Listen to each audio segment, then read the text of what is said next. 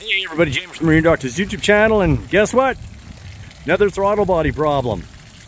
Now, this one, I'm gonna start it here, is running over 900 RPM at idle, which is about 150 too high.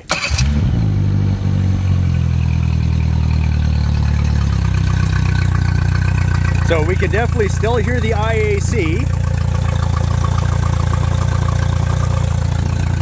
but the IAC is working really quickly and I can't show you the data on the computer, but the IAC is sitting at 9% when we want to see that 20 to 30%.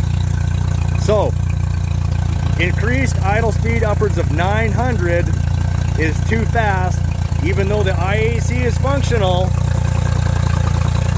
the IAC is working incorrectly. Throttle body's got to be done. Reset the throttle body, make sure it's all closed off and then run it again and we should see our 750, 725, 750 RPM is what we want to see. All right, see you next one.